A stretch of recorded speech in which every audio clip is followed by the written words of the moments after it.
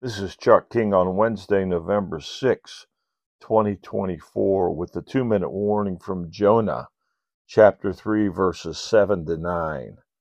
Then he issued a decree in Nineveh by order of the king and his nobles no person or animal, herd or flock is to taste anything at all.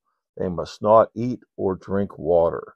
Furthermore, both people and animals must be covered with sackcloth and everyone must call out earnestly to God. Each must turn from his evil ways and from his wrongdoing. Who knows? God may turn and relent. He may turn from his burning anger so that we will not perish. What an example from Scripture of God's mercy on the land of Nineveh, the city of Nineveh.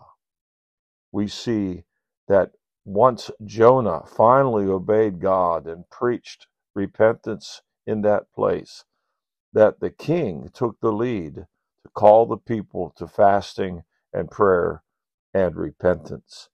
And it was a, a mandatory thing, which amazes me in today's culture.